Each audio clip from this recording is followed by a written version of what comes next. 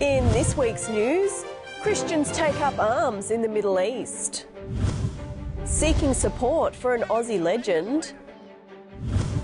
And The Last Lullaby, a young father's heartbreak. This is the week's news in focus. The United Nations Committee Against Torture has taken the Australian government to task, wanting to know why it hasn't pushed for the Vatican to hand over all documents on clerical child abuse in Australia.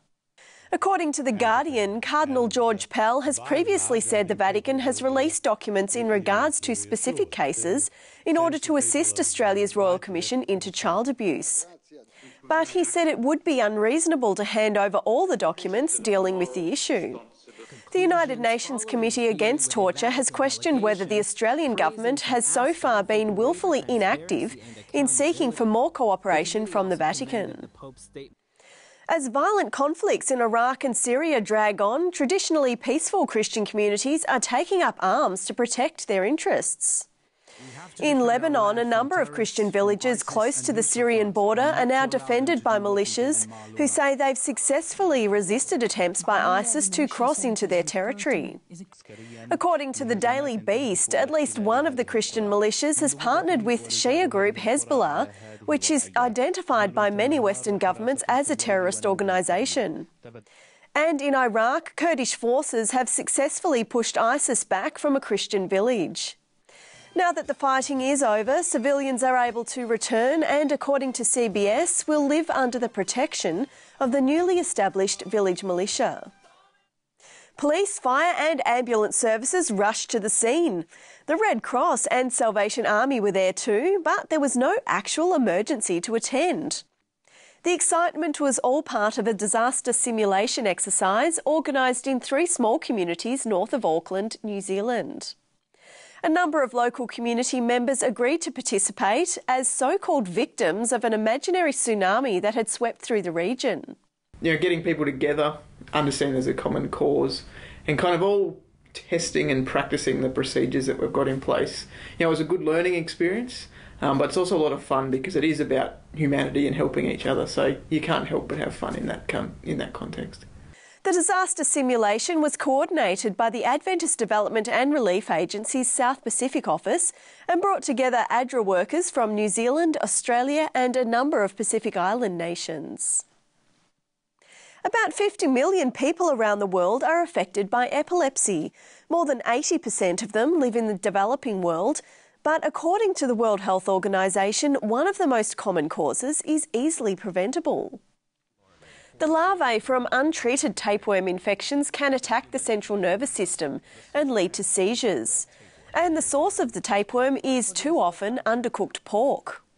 The World Health Organization is keen to spread the message that pork regularly contains tapeworm eggs and should be cooked thoroughly if it is to be eaten at all. A number of religious groups, including Jews, Muslims, and Seventh day Adventists, avoid eating pork in keeping with biblical definitions of unclean meat.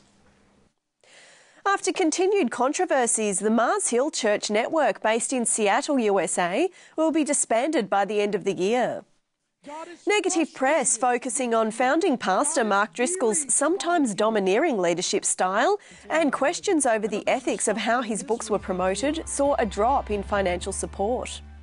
According to Christianity Today, Driscoll resigned last month, apologising for the deficits in his leadership. The 13 remaining congregations have the option of merging with other churches, closing down, or going it alone.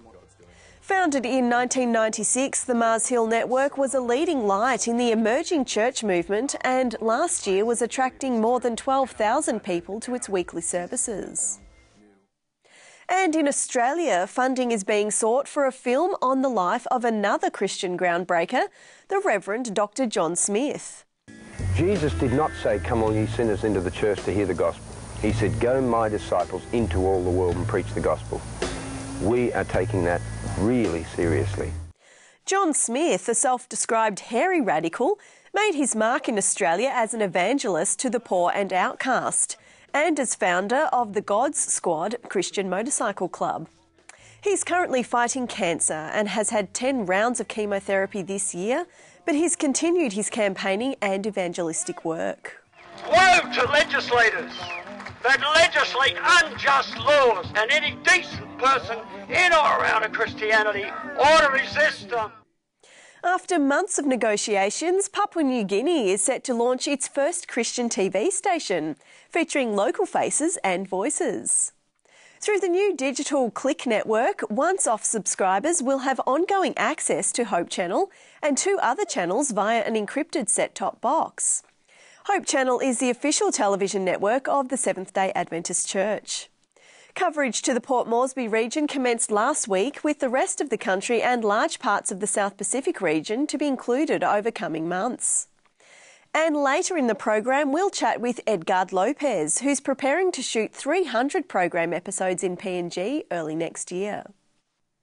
Support has flooded in from around the world for a young Californian father who tragically lost his wife and premature son within four days of each other. Christian musician and Castles in Air frontman Chris Picco's first child had to be delivered by emergency C section 16 weeks early after his wife Ashley died suddenly in her sleep. According to Adventist Review, Chris spent hours by his premature son's incubator while medical staff worried about the baby's lack of progress. Remembering how baby Lennon had responded to music while in the womb, Chris began to play the guitar and sing.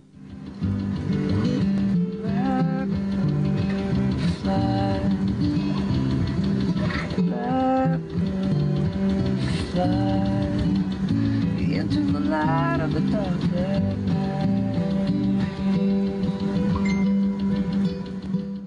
The video touched the hearts of around 13 million viewers, and an online memorial fund set up by Chris and Ashley's Adventist Church in Loma Linda tripled its target amount. Sadly, baby Lennon passed away a few hours after the video was recorded. That's the news for this week. Please keep the Picco family in your prayers, and we'll see you next time. Bye for now.